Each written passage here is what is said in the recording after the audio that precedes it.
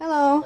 I just wanted to do a quick video so that you guys could see for yourself how the Space Warrior um, walks and talks and shoots his missile, missiles and just kind of see, you know, all the things that he does.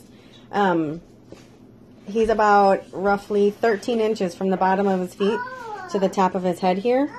And um, his sword comes out and easily just goes back in.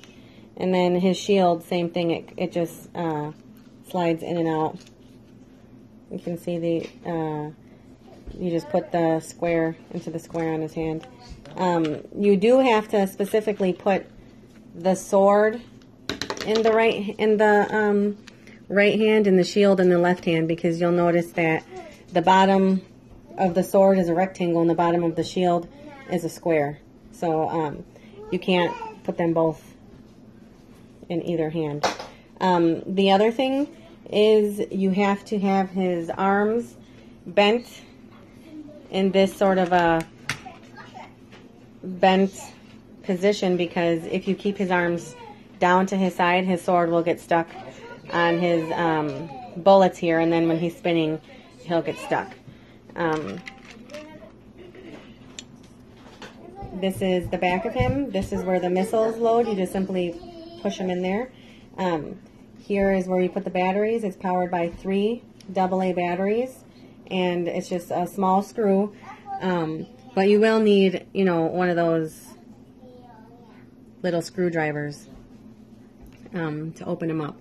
And then here's the on-off uh, switch. So I'm just going to quick turn him on and let you guys see um, everything that he does. I'll do it from the side first, and then I'll turn him on again, and uh, so you can see him from the front.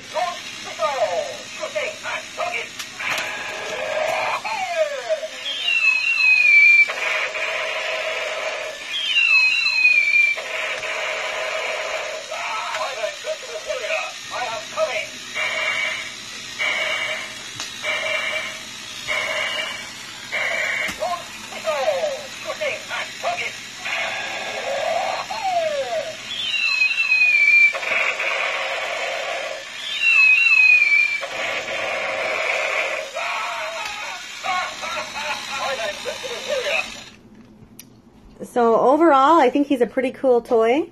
Um, my son enjoyed him a lot. Um, it does only come with two missiles, so after he shoots the two missiles out, you do need to get the missiles and then put them in again.